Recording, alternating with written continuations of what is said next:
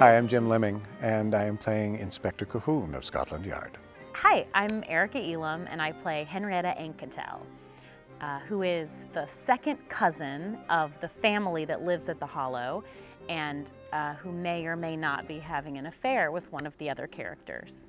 He's not a flamboyant character. He's a heartful, caring, wants to help get this thing solved, and there's a great sympathy, I think, to the character of Colquhoun, that, that he cares for each person, he talks to each person the way each person needs to be talked to, and slowly extracts the information until we get an answer.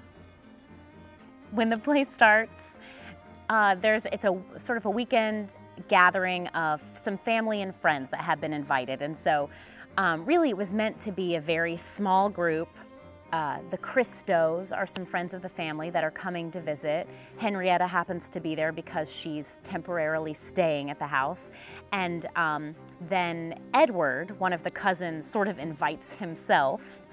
Uh, he wasn't actually invited. And, and Midge, another cousin, ends up coming. So uh, it, it's just family and friends hanging out for the weekend.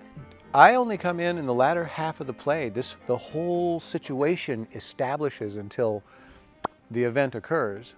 And then the second half is pulling it apart, trying to figure out how it happened and who could possibly be the murderer. I really love that about Agatha Christie is I think um, she's kind of ahead of her time in terms of writing really cool female characters and male characters, but she writes plays where everyone is suspicious and everyone, you have to believe that everyone in the play could have done it, has the potential to have committed murder. And so she, I love it because she ends up writing women who have a past. Like there's no boring ingenues. Henrietta, Veronica, Midge, Lucy, they're all, um, they have a lot of layers. They are complicated, deep, interesting, smart, strong women.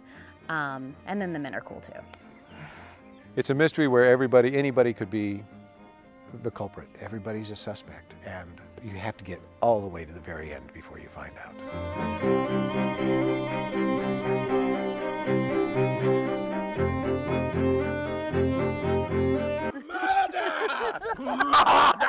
he did it!